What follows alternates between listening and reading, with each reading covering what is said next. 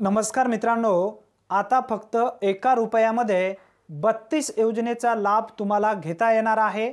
बत्तीस योजनेमध्ये जर तुम्हाला लाभ घ्यायचा असेल तर त्यासाठी राज्य सरकारच्या माध्यमातून आता सध्या फक्त एका रुपयामध्ये नोंदणी सुरू आहे. या नोंदणीसाठी कोणकोणते डॉक्युमेंट्स तुम्हाला लागतात? नोंदणी कोणत्या ठिकाणी करायची आहे?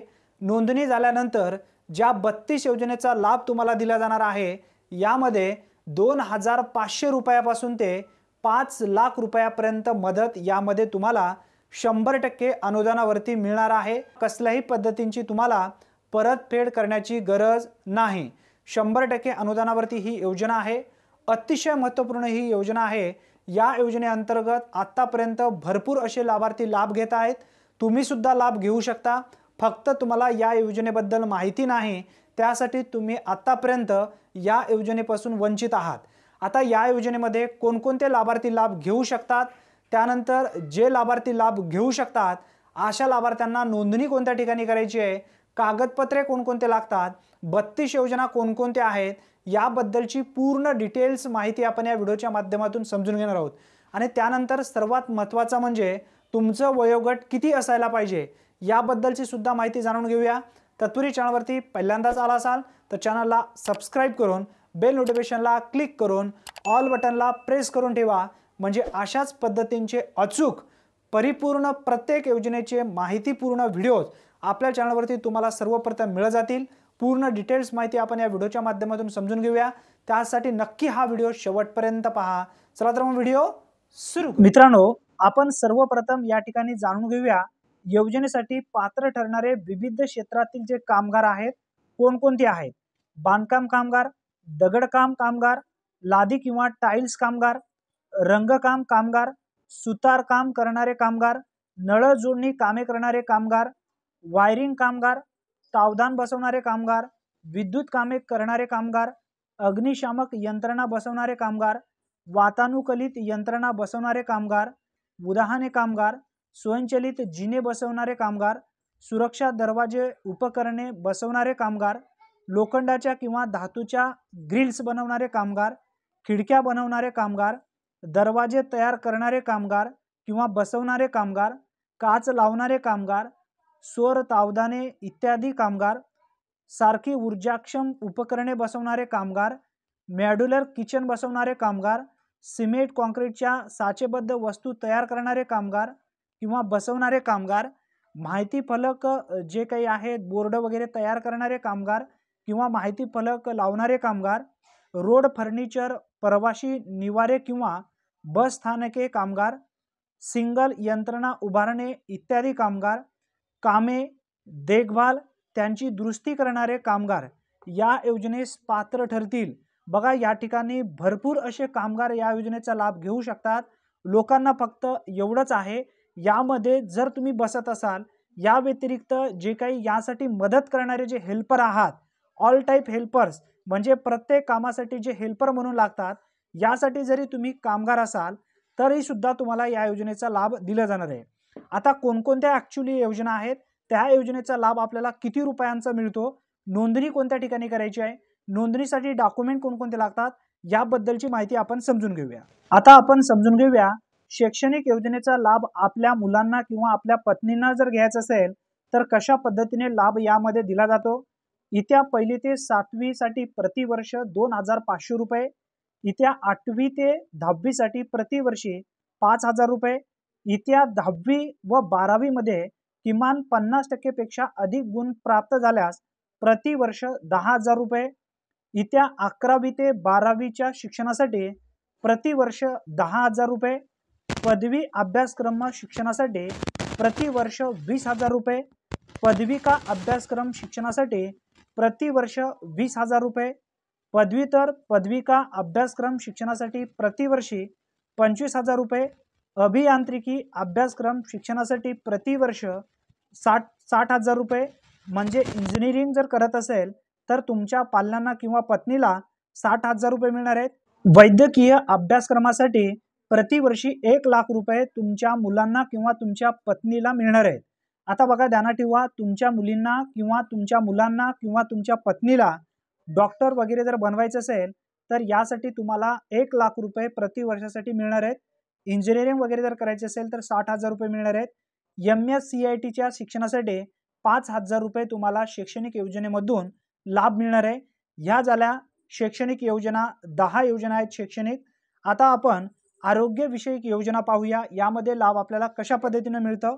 आरोग्यविषयक योजनेमध्ये पहिल्या दोन जीवित अपत्यांच्या नैसर्गिक प्रस्तुतीसाठी पंधरा हजार रुपये शस्त्रक्रियेद्वारे प्रसूतीसाठी वीस हजार रुपये म्हणजेच नॉर्मल डिलिव्हरीसाठी पंधरा हजार रुपये आणि सीझरसाठी वीस हजार रुपये. गंभीर आजाराच्या उपचारासाठी एक लाख रुपयांची मदत तुम्हाला मिळणार आहे. बांधकाम कामगारास पंच्याहत्तर टक्केपेक्षा जास्त अपंग आल्यास दोन लाख रुपयांची तुम्हाला मदत मिळणार आहे. व्यसनमुक्ती केंद्रातील उपचाराकरिता सहा हजार रुपयांची मदत तुम्हाला मिळणार आहे. आता आपण समजून घेऊया आर्थिक सहाय्य योजनेमधून लाभ आपल्याला किती रुपयापर्यंत मिळते? कामगाराचा कामावर असताना अपघाती मृत्यू झाल्यास पाच लाख रुपयांची मदत यामध्ये मिळते. नैसर्गिक मृत्यू झाल्यास दोन लाख रुपयांची मदत मिळते. अटल बांधकाम कामगार आवास योजना ग्रह कर्जाच्या व्याजाच्या रकमेवर अनुदान म्हणून तुम्हाला दोन लाख रुपयांची मदत मिळते. कामगाराचा मृत्यू झाल्यास त्याच्या अंत्यविधीकरिता जो काही खर्च आहे दहा हजार रुपयांची मदत मिळते. मृत्यूनंतर विधवा पत्नीस अथवा विधूर पतीस वित्तीय सहाय्य जो आहे चोवीस हजार रुपये प्रति वर्षासाठी तुम्हाला यामध्ये पाच वर्षासाठी सलग दिले जातात. अशा पद्धतीने या योजना आहेत. आता त्यानंतर पुढील जी योजना आहे सामाजिक सुरक्षा व अन्य योजना. पहिल्या विवाहांच्या खर्चाच्या प्रतिकृतीसाठी तीस हजार रुपयांची मदत या ठिकाणी दिली जाते. तुमचा अठरा वर्ष कंप्लीट झाला आहे तुम्ही आतापर्यंत लग्न केलेलं नाही. मग अशा मुलांना तीस हजार रुपयांचा जो लाभ आहे विवाहाच्या खर्चासाठी दिला जातो. मध्यम भोजन कामाच्या ठिकाणी दुपारी मोफत पौष्टिक आहार दिला जातं. प्रधानमंत्री श्रमयोगी मानधन योजनेचा लाभ सुद्धा या योजनेअंतर्गत लागू आहे. प्रधानमंत्री जीवन ज्योती विमा योजनेचा जो काही लाभ आहे या योजनेअंतर्गत दिला जातो. व्यक्तिमत्व विकास पुस्तक संचाचे वाटप सुद्धा या योजनेअंतर्गत दिलं जातं. अवजारे खरेदीकरिता पाच हजार रुपयांची मदत आणि किट वाटप सुद्धा यामध्ये दिलं जातं. आता किट वाटप म्हणजे कोणकोणते? घरगुती जे वस्तू आहेत जो किट तुम्हाला दिला जात आहे तीस वस्तूचा संत घरउपयोगी वस्तू ते सुद्धा तुम्हाला याच योजनेअंतर्गत दिले जात आहेत. बासनं. त्यानंतर सुरक्षा अत्यावश्यक संच पुरवणे सुद्धा याच योजनेअंतर्गत आहेत.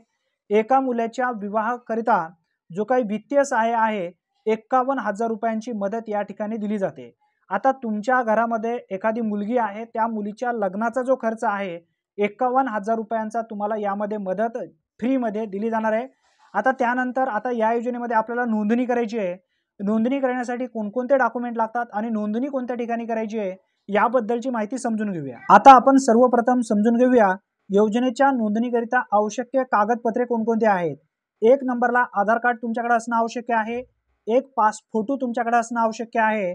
मागील एका वर्षात नव्वद दिवस बांधकाम कामगार म्हणून काम केले असल्याचे प्रमाणपत्र तुमच्याकडे असणं आवश्यक आहे.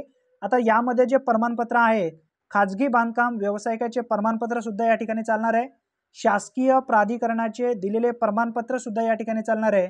म्हणजे ग्रामशोक वगैरे जे असतील त्यांचे प्रमाणपत्र तुम्हाला या ठिकाणी चालतात. ग्रामविकास अधिकारी असेल किंवा नगरपालिकेचा जो काही नगर विकास अधिकारी असेल त्यांचं सुद्धा या ठिकाणी प्रमाणपत्र चालतं. किंवा शासकीय कॉन्ट्रॅक्टर किंवा खाजगी कॉन्ट्रॅक्टरांचा सुद्धा प्रमाणपत्र या ठिकाणी चालतो. त्यानंतर नाका कामगार पुस्तिका तुमच्याकडे जर असेल तरी सुद्धा तुम्हाला या योजनेचा लाभ दिला जातो. आता कोणकोणते लाभार्थी लाभ घेऊ शकतात? पूर्वी सर्वप्रथम आपण या व्हिडिओच्या पूर्वी घेतलेली आहे माहिती. आता नोंदणी फी जी आहे नूतनीकरण फी प्रति वर्ष एक रुपये आणि नोंदणी फी जी आहे प्रति वर्षासाठी फक्त एकच रुपये आहे. आता यामध्ये सर्वात महत्त्वाचं म्हणजे यामध्ये तुमचं वय किती असायला पाहिजे? अठरा ते साठ वर्ष वयोगटातील लाभार्थी या योजनेचा लाभ घेऊ शकतात. अर्ज कोठे करावा हा प्रश्न अनेक लाभार्थ्यांना आता नक्की पडलेला असेल. अर्ज करण्यासाठी Maha B O C W dot in M R या अधिकृत संकेतस्थळावर तुम्हाला अर्ज करता येणार आहे. अर्ज करण्याची पूर्ण प्रोसेस अर्ज कशा पद्धतीने करायचा आहे प्रमाणपत्र कशा पद्धतीने तुम्हाला भरायचे आहेत कोणता प्रमाणपत्र आहे पूर्ण डिटेल्स माहितीचे या योजनेबद्दलचे पूर्ण एक एक योजनेबद्दलचे व्हिडिओ आपल्या चॅनलवरती ऑलरेडी उपलब्ध आहेत. भरपूर असे व्हिडिओ आपण बांधकाम कामगार म्हणून एक स्पेशल प्लेलिस्ट बनवलेली आहे. त्यामध्ये आपल्या चॅनलवरती गेल्याच्यानंतर तुम्हाला जो व्हिडिओ पाहिजे तो व्हिडिओ तुम्ही पाहू शकता. आता ही जी योजना आहे नेमकी कोणती आहे हे समजून घ्या.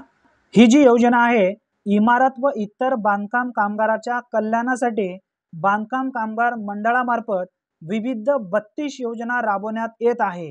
या बत्तीस योजना आपण आता पाहिल्यात. नोंदणी कोणत्या ठिकाणी करायची आहे? डॉक्युमेंट कोणकोणते लागतात? कोणकोणत्या योजनेतून कशा पद्धतीने आपल्याला लाभ घेता येतं?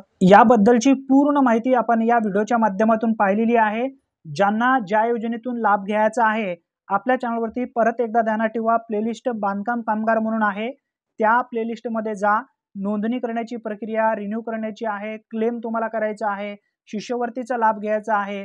ज्या काही योजना या ठिकाणी दिलेल्या आहेत सर्व योजनेचा लाभ तुम्हाला कशा पद्धतीने घेता येणार आहे अर्ज कसा करायचा आहे याबद्दलची पूर्ण माहिती आपल्या चॅनलवरती उपलब्ध आहे. मित्रांनो अतिशय महत्त्वपूर्ण हा व्हिडिओ आहे. तुमच्या गावातील प्रत्येक व्हॉट्सअप ग्रुपवरती हा व्हिडिओ नक्की शेअर करा. चॅनलवरती तुम्ही पहिल्यांदाच आला असाल तर चॅनलला सबस्क्राईब करून बेल नोटिफिकेशनला क्लिक करून ऑल बटनला मात्र नक्की प्रेस करून ठेवा. जर तुमचे काही प्रश्न असतील तर आपल्या चॅनलवरती मेंबरशिप ऑन केलेली आहे. जॉईन करा. तुमचे जे काही प्रश्न असतील त्या प्रश्नाचं उत्तर तुम्हाला सर्वप्रथम आपल्या चॅनलच्या माध्यमातून मिळणार आहे. मित्रांनो आज इथेच थांबूया. पुन्हा भेटूया नवीन व्हिडिओमध्ये नवीन माहितीसह. तोपर्यंत जय हिंद जय महाराष्ट्र.